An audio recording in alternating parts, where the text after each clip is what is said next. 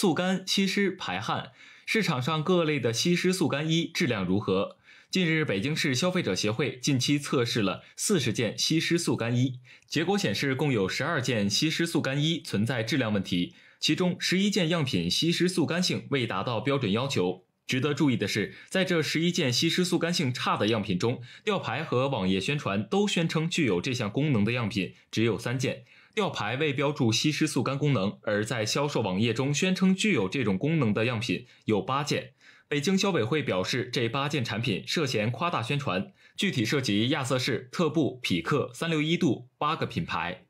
以上新闻由南方都市报播报，更多内容请关注南方都市报官方 APP。